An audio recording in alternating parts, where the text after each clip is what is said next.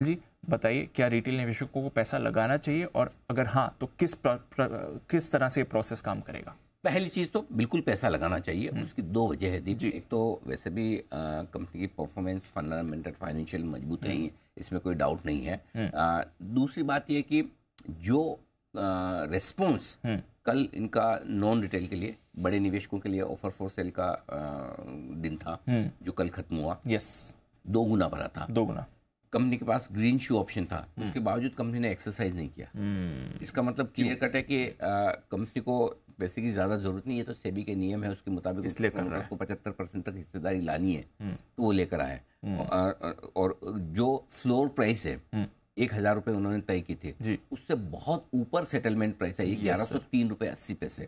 तो institutional investors जो है उनके लिए क्लियरिंग प्राइस ग्यारह सौ तीन रुपए अस्सी पैसे आई है। इस प्राइस के ऊपर ही आपका पूरा ऑफ़र फॉर सेल भर गया।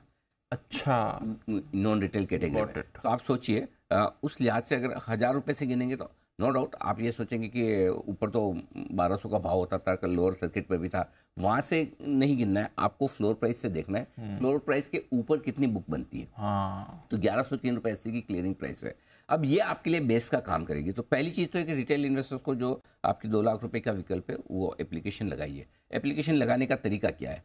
आपको एप्लीकेशन लगाने के लिए प्राइस ग्यारह सौ तीन रुपये अस्सी पैसे के हिसाब से या इसके ऊपर का भाव या जो भी देना चाहे उस प्राइस से आप एप्लीकेशन कर दीजिए। हम्म। लेकिन साथ में लिख लीजिए कट ऑफ़ प्राइस तो जो भी cut off price company decide करेगी उस पर आपको अलॉटमेंट मिल जाएगा तो आपको कोई टेंशन ही नहीं है। अगर आपने कट ऑफ़ प्राइस नहीं लिखा और जिस प्राइस पे कंपनी अलॉट करती है उसके हम्म। उस प्राइस पर या उसके ऊपर की एप्लीकेशन है तब तो ठीक। हम्म। लेकिन अगर आपने नीचे की समझिए आपने हज़ार रुपये में अप्लाई किया।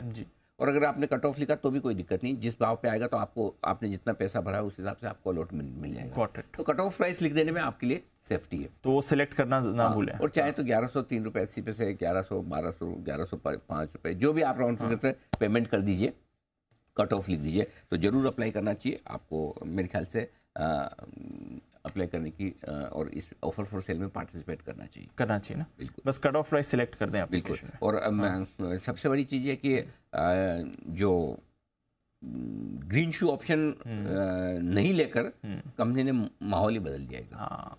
बिल्कुल मतलब मास्टर स्ट्रोक मास्टर स्ट्रोक समझ गया सर मेरे को याद है पहले भी जब इनका ओएफएस आया था तब भी हमने अपने पूरे कॉन्फिडेंस के साथ कहा था कि इसमें पैसे लगा साढ़े छह सौ रुपये में इशू आया था और तब हम हम्म। शायद अकेले थे हम्म। जो हम कह रहे थे कि यहाँ पर खरीदारी करनी चाहिए। आज भी हम्म। जब वापस से ओएफएस आ रहा है तो हम कह रहे हैं और ये आखिरी सप्लाई है। इसके बाद इसके बाद हैवी नहीं है हाँ। ना कंपनी को पैसे की ज़रूरत है ना ग्रीन शू ले रहे हैं। तो I don't think near future में आपको कोई बहुत बड़ी सप्लाई आएगी। तो लगा सकते लगा सकते हैं। चलिए। ठीक है सर।